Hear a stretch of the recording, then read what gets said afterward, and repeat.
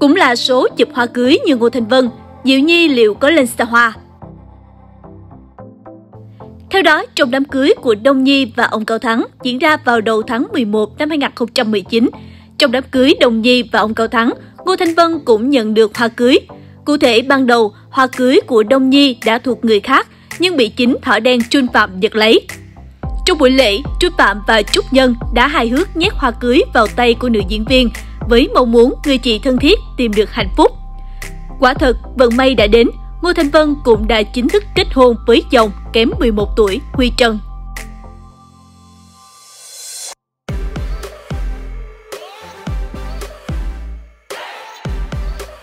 Cũng tương tự như Ngô Thanh Vân, Diệu Nhi là một trong những khách mời lầy lội. Cô nàng vượt mặt dàn mỹ nhân như Mai Phương Thúy, Khả Ngân, Khả Như nhanh chóng bước lên trên cùng để tóm gọn bó hoa cưới từ cô dâu Minh Hằng.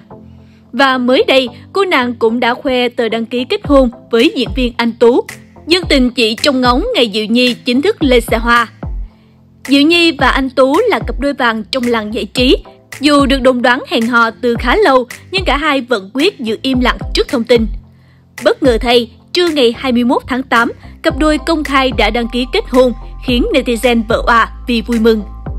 Có thể thấy việc anh Tú và Diệu Nhi công khai kết hôn sau thời gian dài hẹn hò kín tiếng là việc mà người hâm mộ đã mong chờ từ rất lâu. Được biết cả hai đã lên kế hoạch cho đám cưới sắp tới. Trước đó dân mạng xôn xao trước thông tin Diệu Nhi sinh con cho anh Tú. Nữ diễn viên đã từng gây xôn xao dư luận với bằng chứng để lộ vòng hai vượt mặt khi ghi hình. Không những thế, dân tình còn chụp được khoảnh khắc anh Tú đưa Diệu Nhi đến phòng chờ sinh. Tuy nhiên, tất cả cũng chỉ là suy đoán từ phía công chúng. Người hâm mộ mong rằng nếu tin đồn kia là sự thật, ai cũng mong chờ ngày cả hai sớm công khai nhóc tỳ trước công chúng. Khán giả đang nóng lòng chờ ngày cả hai lên sao hoa trong thời gian tới.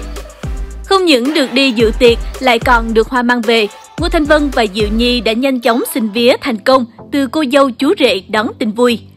Còn bạn, bạn thấy sao về pha chụp hoa cưới linh nghiệm của các cô nàng này?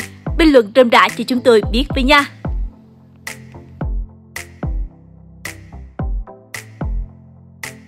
Gửi ngày tình nóng cho Sài Gòn TV qua hotline 0909 660 550 để có cơ hội gia tăng thu nhập nha!